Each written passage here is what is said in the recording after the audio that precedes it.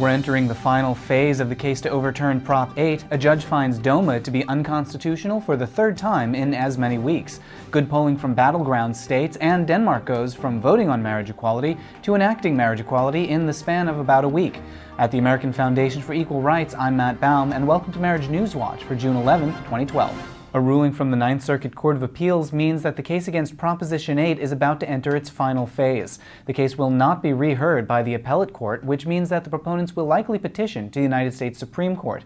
That's the last step in the road to overturning Prop 8, which has twice been ruled unconstitutional. From this point, there are only two ways the case can go. Either the Supreme Court will let the previous ruling stand, which means California will finally be rid of Prop 8, or they'll take the case and examine the overwhelming evidence that Prop 8 violates the United States Constitution. If that happens, AFER is confident that the justices will reach the same conclusion as the last two courts. Meanwhile, progress continues on over a dozen cases involving the Federal Defense of Marriage Act. For the third week in a row, a court has ruled against DOMA. In the most recent case, a district court judge in New York has found that DOMA does not fulfill a legitimate government interest. This follows a ruling last week in Boston and one the week before in California, both of which found that DOMA violate the United States Constitution.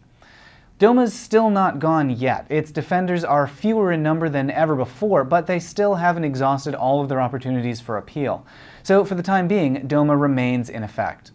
But public opinion on marriage equality is rapidly shifting. A new CNN survey is now the 13th national poll to show a majority of Americans support marriage equality, this time by a margin of 54 to 42 percent. Turning to the states, anti gay activists in Washington have submitted signatures to force that state's new marriage equality law to a popular vote. Marriages would have started this summer in Washington, but now gay and lesbian couples will have to wait until November to find out whether or not they'll be allowed to get married. The most recent poll in Washington shows that 54% of voters would keep marriage equality, with just 33 voting to overturn the new law. And a series of polls across the country this week show encouraging progress. In Colorado, new numbers show that 73% of voters favor relationship recognition. That includes 42% who support marriage, 31% who support civil unions, and only 22% who uh, oppose recognition of any kind. In Minnesota, where voters will face a marriage referendum in November, 43% say that they would amend the state constitution to ban marriage equality, but they're now outnumbered by the 49% who oppose. That's a big improvement from February, when a survey showed that 47% wanted to amend the constitution and just 39% opposed the amendment. And in Missouri, 64% of voters favor some form of relationship recognition, with 33% favoring marriage and 31% for civil unions.